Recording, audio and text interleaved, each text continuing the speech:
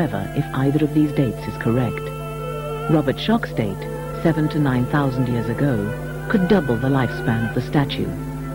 If he's right, the building of the pyramids would no longer be civilization's first great achievement, but instead the inheritance of an earlier tradition.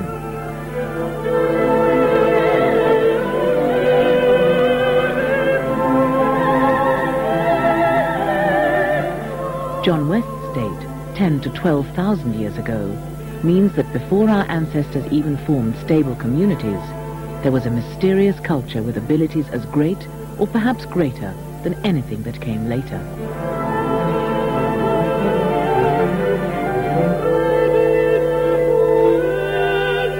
But these distant dates for the builders of the Sphinx are uncertain and speculative. More evidence is needed.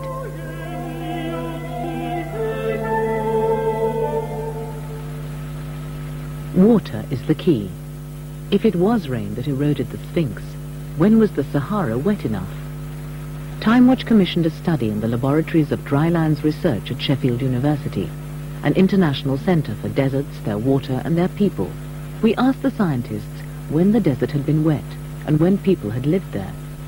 If we go to the Eastern Sahara today, we find that it's a very harsh environment. It gets about 50 millimetres of rain a year. It's very dry, it's very hot, very windy. Most of the life centres around the Nile River.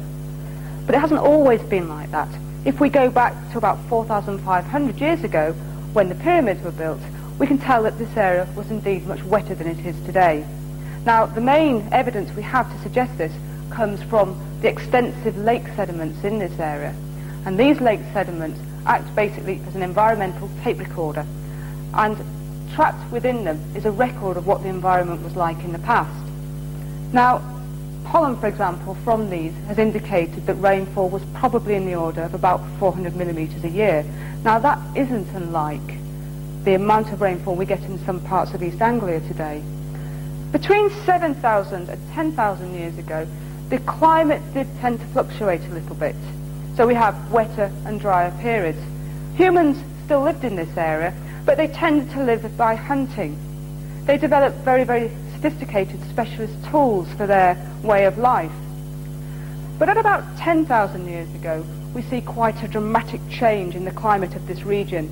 Indeed, throughout this period from 10,000 years ago to 20,000 years ago, we have no evidence that any humans were living in this area.